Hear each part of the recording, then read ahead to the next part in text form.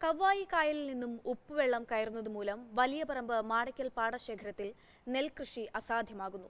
പ്രതിസന്ധിക്ക് പരിഹാരം കാണണമെന്ന കർഷകരുടെ ആവശ്യത്തിൽ ഇതുവരെയും നടപടിയുണ്ടായിട്ടില്ല കവ്വായി കായലിനോട് ചേർന്ന് കാസർഗോഡ് ജില്ലയിലെ മാടക്കാൽ തുറയിൽ കോരങ്കി നെൽവയലുകളിലാണ് ഉപ്പുവെള്ളം കയറി കൃഷി നശിക്കുന്നത്. നിലവിലിവിടെ കൃഷി ഇറക്കാൻ പോലും പറ്റാത്ത സാഹചര്യമാണ്. കായലിൽ നിന്നുള്ള ഉപ്പുവെള്ളം പ്രതിരോധിക്കാൻ സംവിധാനമൊരുക്കണമെന്ന് കർഷകർ വർഷങ്ങളായി ആവശ്യമുന്നയിക്കുന്നുണ്ടെങ്കിലും നടപടിയുണ്ടായിട്ടില്ല പഞ്ചായത്ത് നിർമ്മിച്ചു നൽകിയ തടയണ പ്രയോജനപ്പെടാത്ത സാഹചര്യത്തിൽ ശാസ്ത്രീയ സംവിധാനം ഒരുക്കണമെന്നാണ് നാട്ടുകാരുടെ നിലപാട്. പ്രശ്നം കുറെ കാലം മുമ്പേ ഉണ്ട്.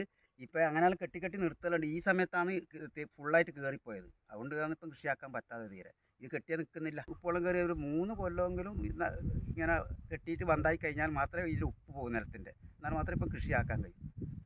വേലിയേറ്റ സമയത്ത് അഞ്ഞൂറ് മീറ്റർ വരെ ഉപ്പുവെള്ളം കയറി വരും. പ്രദേശത്തെ കുടിവെള്ള സ്രോതസ്സുകളിലും ഉപ്പ് കലരുന്നത് ഗുരുതരമാണ്. പ്രശ്നത്തിന് പരിഹാരം കാണാനായി പ്രദേശത്തെ രണ്ട് തോടുകൾക്ക് ഫൈബർ ഷട്ടറുകൾ സ്ഥാപിക്കുന്നതിനുള്ള സാധ്യതയാണുള്ളത്. തടയണ സ്ഥാപിച്ചാലും വർഷങ്ങൾ കഴിഞ്ഞാലേ മണ്ണിന്റെ ലവണാംശം മാറിക്കിട്ടുകയുള്ളൂ അതുകൊണ്ട് തന്നെ അടിയന്തിരമായി പ്രതിരോധ നടപടികൾ സ്വീകരിക്കണമെന്നാണ് കർഷകർ ആവശ്യപ്പെടുന്നത്. മാതൃഭൂമി ന്യൂസ് കാസർഗോഡ്.